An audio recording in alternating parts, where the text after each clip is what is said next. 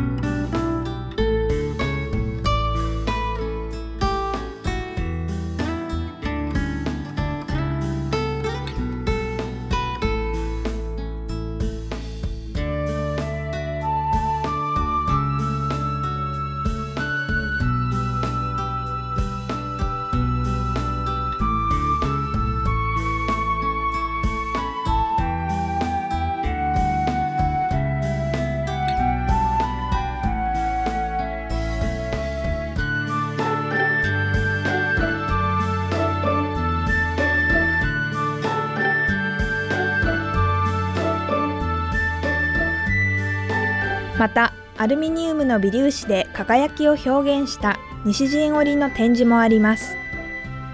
これらはもともとファッションデザイナーの桂由美さんがパリコレクションで使用したドレスの一部生地を切り取って額に入れればアートのように見栄えがするのではないかという住谷さんのアイデアが元となって今回展示に加わりました。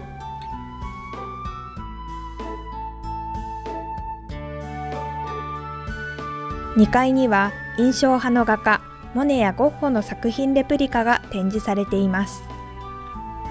これらは中国の画家らが手掛けたもので実際に触れることのできるものもあります。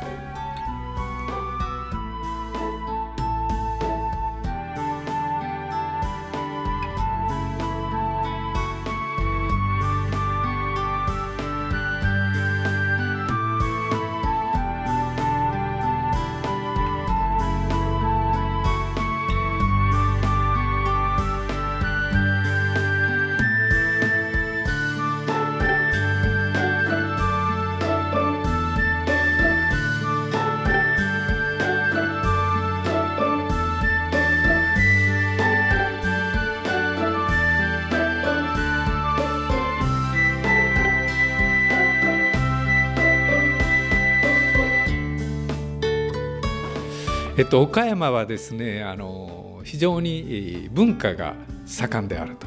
政治よりも文化が盛んであると。ころがこの吉備地区はですね意外と美術館がないんですね、まあ、そういったことでこの吉備寺の一角にですね、えー、古民家美術館とかあまあ、そういったものが根付ってきて地元の人が、まあ、アートに親しんでもらえたらいいなと思っております。そういったことを、まあ、なんかあバックアップし、まあ、社会貢献といったらあのちょっと言い過ぎなんですけれどもそういったことでみんなに愛される美術館にしたいなと思っております。次回の開館はお盆休みの頃を予定していてゴールデンウィークとお盆以外の見学は予約制となっています。